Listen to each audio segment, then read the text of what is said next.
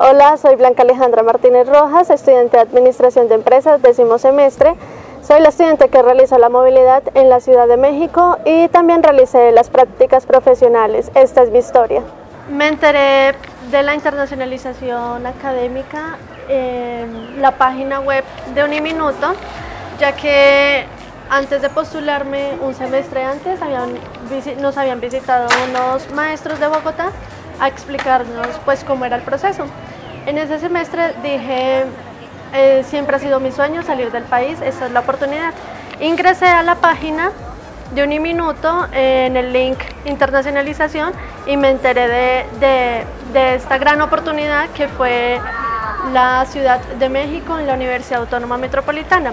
Me acerqué a la oficina de internacionalización acá en la Universidad Minuto de Dios de Ibagué y pues inicié todos los trámites del proceso eh, que conlleva para llegar hasta la Ciudad de México. Mi experiencia académica la realicé en la Universidad Autónoma Metropolitana en la Ciudad de México. Les comento que esta universidad cuenta con una planta de docentes del 99% que son doctores, pues el cual ha hecho que los conocimientos que adquirí y que traje pues son más amplios de los que, de los que tenía.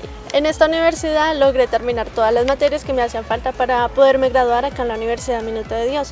Después de haber terminado las materias, la Universidad Autónoma Metropolitana me brindó la oportunidad de realizar las prácticas profesionales en un hospital privado, el cual pude poner en práctica todos los conocimientos que adquirí aquí en la Universidad Minuto de Dios y también en la Universidad de México.